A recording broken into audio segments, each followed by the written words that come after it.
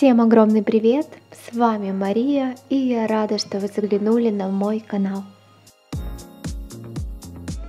Весна, время красоты, время расцветать, время чистоты, уюта, волшебства.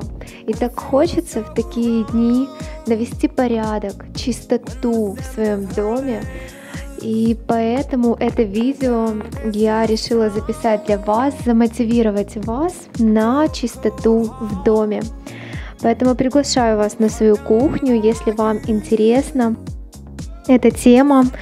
Э, в этом видео я хочу показать вам, как отмыть э, свою посуду, например, заварнички от чая или вот такая пельменница, которая, которую я приобрела вот в таком состоянии, очень долго искала именно советскую.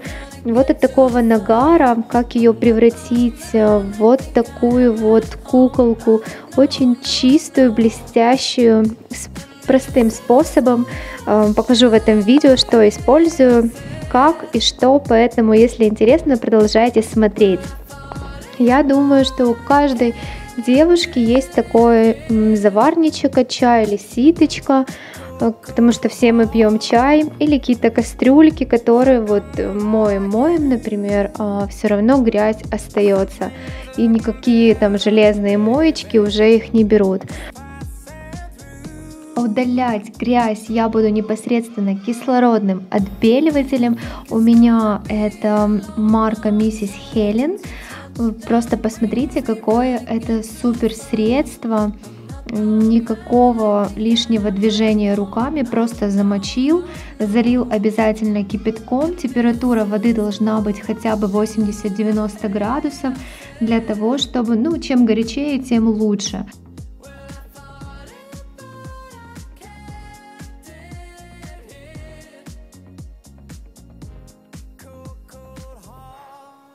А у меня уже водичка начинает закипать в кастрюле.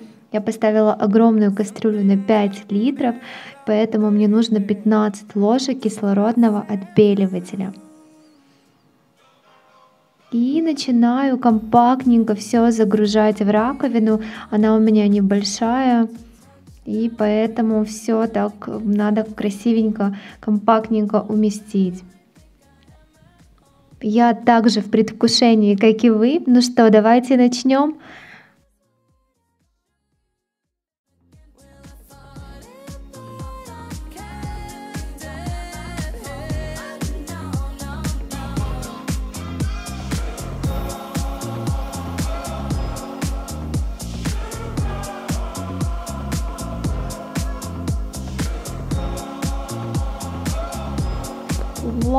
Вау, какая чистота!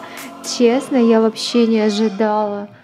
Настолько чисто, все блестит. Боже мой, эта крышечка, она была вся такая темненькая. Это просто волшебство. Это весеннее волшебство. Просто закинул, залил кипятком, кинул порошка и все дно от сковородки у меня не отмылось, так как оно не поместилось в воду. Поэтому в следующий раз буду брать больше водички, чтобы все поместилось. Но все остальное такое чистое, это просто невероятно. Кстати, я выждала 10 э, минут и уже не сдержалась, начала доставать. Хотя по инструкции чем дольше, тем лучше. От 20 минут. Но в принципе вот эти все ситечки, мелкие такие приборы, они просто отбелились на ура. Я надеюсь, это видео было для вас полезным. Если это так, ставьте лайчики. А я с вами прощаюсь. До скорых встреч. Пока-пока. А на заметку, раковину можно и не мыть. Посмотрите, как она сама отбелилась.